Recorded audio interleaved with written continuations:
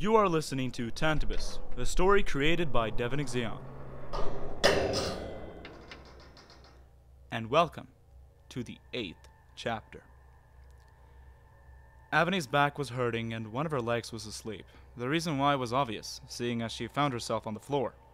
She could not recall how or when, but it seemed that she had fallen off of the side of the bed at some point during the night. However, she could not see the bed, or anything else for that matter, because of the darkness. It was pitch black and the atmosphere was anything but welcoming. The air was cold, just like the rough foundation below her. There was a lingering sensation of hollow, as if you could feel the room feeding on your warmth. It was unsettling and a signal that something was not right. But she did not notice, as she had not fully come to her senses yet, remaining in a state of daze and disorientation. She was still transitioning from dream to reality, and in this moment nothing could feel out of the ordinary. The part of Avani's brain that handled basic reasoning had simply not returned from its holiday as of yet. My covers are gone. Meh, that's normal. I'm on the floor. Happens all the time. I'm stuck in a game of life and death where I'm most likely going to be violently murdered. Just my usual morning routine. Wait, what? She slowly opened her eyes and came to the unfathomable realization that she was not sleeping in her bed. In fact, she was not even in her home at all.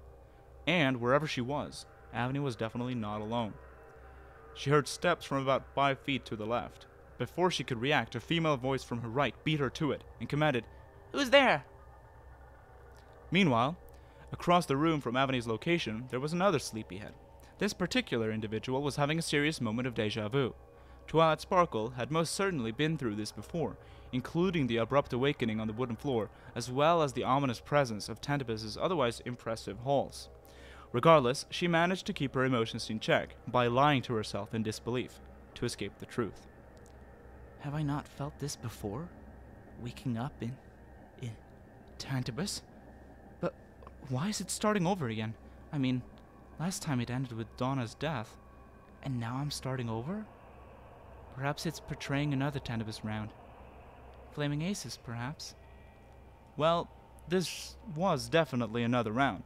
She just did not know that she was the star of the show yet. Who said that? And why are you in my house? A new voice commanded. It came from Apollo, a 32 year old Pegasus from Baltimore. He just so happened to live in a rather large house, so he felt no different here than in his own hall of equal hollow and desolation. His initial interpretation of why he felt so unhinged and imperiled relied on his history of drinking a bit too much. He probably came home yesterday as drunk as ever, closed the door behind himself, locked it, hung up his coat, took off his shoes, and then collapsed on the rug. This had happened four times already. The original voice responded, Whoa, am I in your house? I'm sorry, I don't remember getting here. Could you show me to the exit then? This was the voice of Admira, a polite little unicorn from Canterlot. Sure, it's over here. At least, I think it is over here. It's so dark. He blindly faltered his way ahead and accidentally tripped over Twilight's drowsy body. Twilight grunted at the sudden kick to her back and was met with a very vivid shout. What the hell? Who are you? Why the hell is every pony in my house? Twilight was agitated by the moronic and inaccurate assumptions that this stallion made. It is not your house, she reactively exclaimed. Immediately after, her eyes shot wide open and she covered up her own mouth in horror. Did I say that? Oh, Celestia, I'm in control. This is my body. She began to sweat.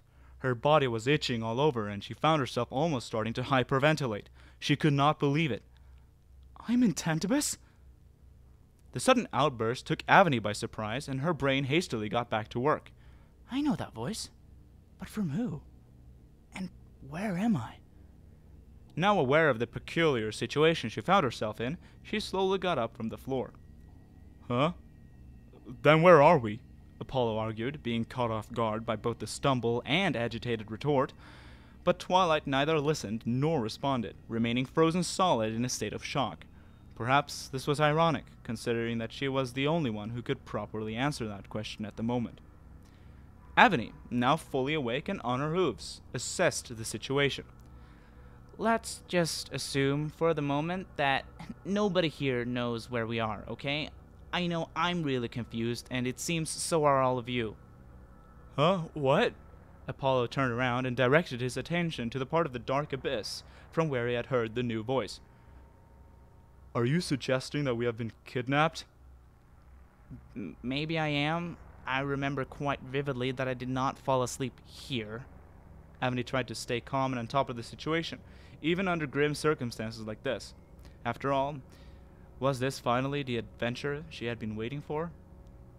Is that Avony? Twilight inquired, but was not sure if she wanted the answer. No, it can't be. How many are here? Admira exclaimed. My thoughts exactly, Apollo commented. You guys are hilarious.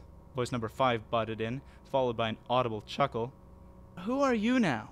Avony asked.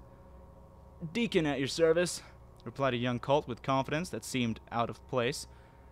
Well then, Deacon, where are we? commanded Apollo. You, you think I know? Whoa there, I'm just as clueless as you fellas. Then you are of no help. Ah, relax, dude. I mean, you've got to keep your chin up, isn't that so?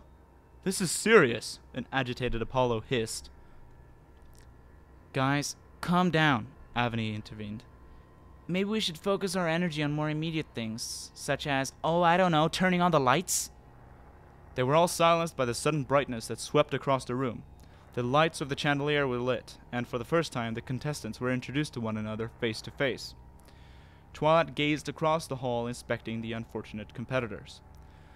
Apollo was a large and fully grown stallion. He had bright fur that shone of silver, with contrasting black hair.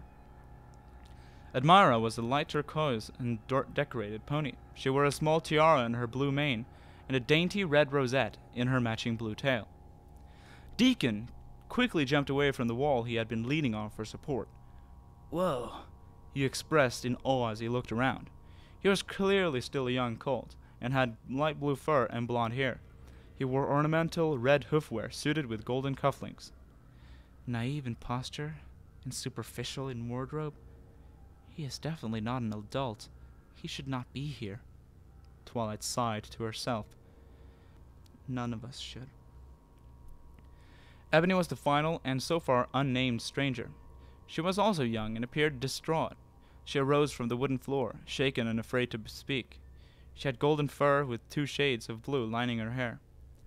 Finally, she saw Avony, and her fears had come true. She did not want to believe it. Why is Avony here? There were so many questions she wanted to ask, and yet it seemed pointless. Reason was the last thing Twilight expected from Tantibus. There were no answers to look for, so Twilight instead abandoned her thoughts and ran to embrace her friend. Twilight! Avony yelled happily. Avony, Twilight responded melancholically. Avony backed out of the hug, holding Twilight in front of her while exchanging looks. Is something wrong? You know where we are? She wanted to know whether to be happy or not, and judging by Twilight's expression, the initial forecast was not promising. We are. We're in. Twilight just could not do it.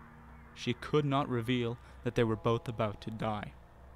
Twilight shut her eyes and looked away. Oh, that place you were talking about. Is this it? Twilight nodded silently and took a deep breath. Then she looked up into Avony's eyes and asked her, What did you do? Before Avony, but before Avony could reply, she repeated herself to clarify. There was a tone of sorrow in her voice. What did you do after I left you to end up here? Avony realized that this was serious.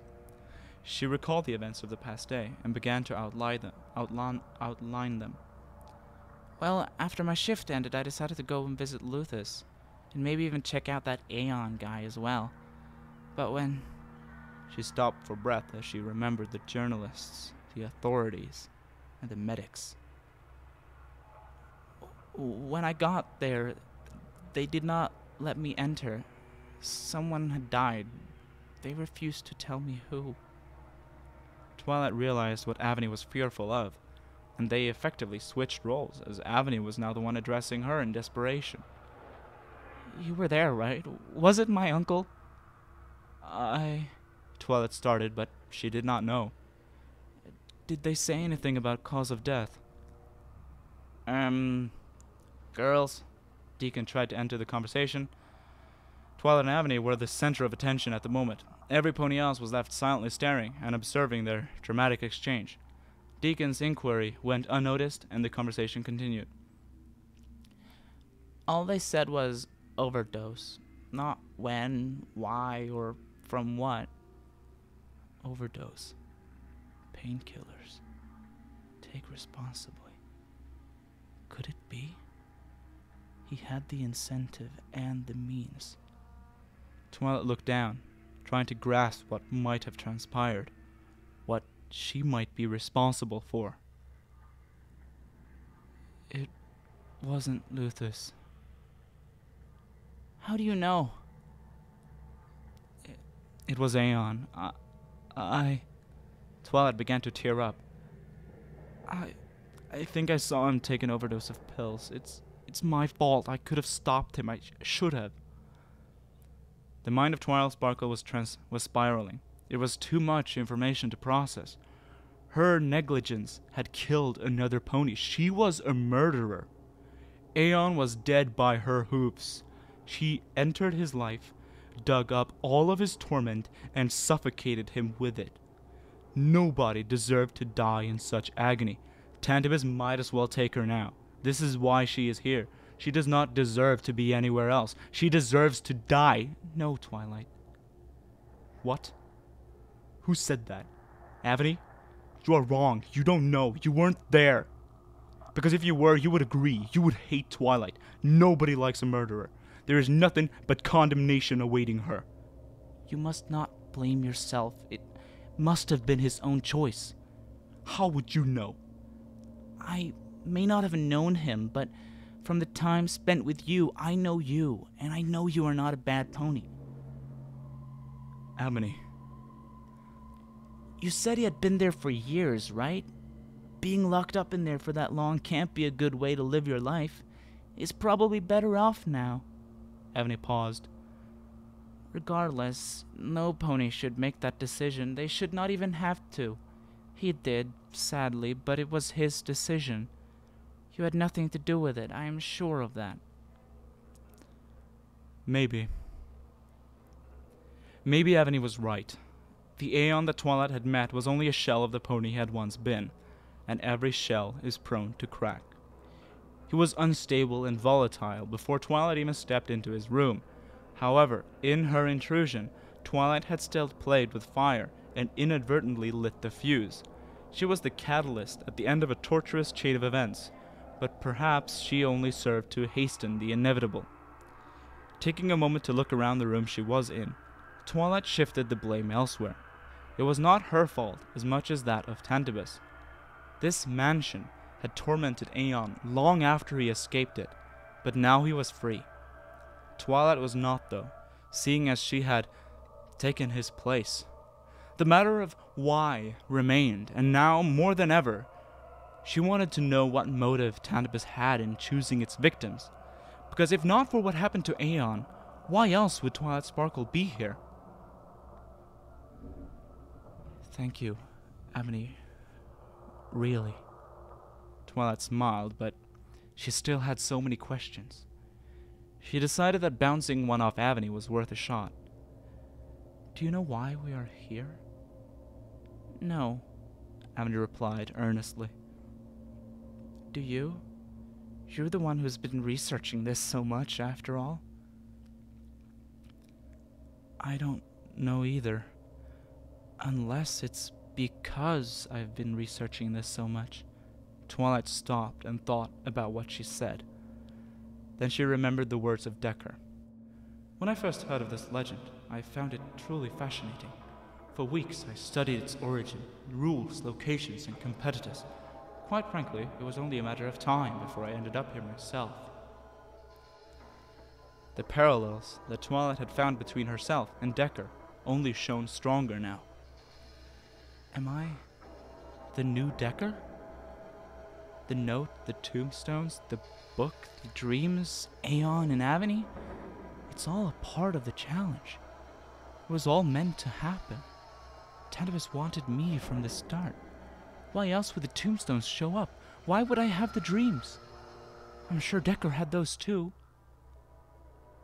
That would mean that the sole reason that Avony is here is to get to me. Twilight jumped back in horror. She fell onto the floor, away from Avony, and shielded her eyes. I'm so sorry. Twilight burst out in tears. It's all my fault. I'm so sorry, Avony. What are. Avony begun, but was sub- se- subsequently cut off. What the hell is going on between you two? Apollo stepped in. Twilight looked around. Deacon's mouth and eyes were wide open.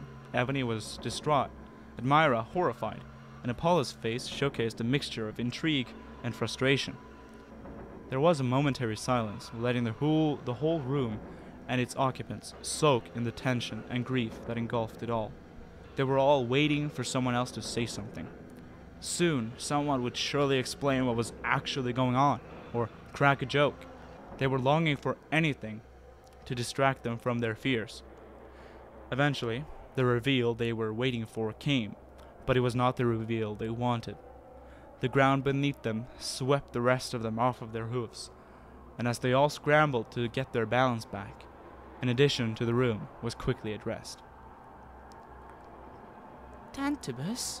Admira faltered in her whimper. What? Apollo questioned. Oh shit! Deacon yelped and pointed to the back wall. The timely message was the perfect excuse for Deacon to drop his swear word. One by one, the words came back to haunt Twilight for the second time. The rules of the Tantibus Challenge. Rule 1 Only one competitor can leave Tantibus alive.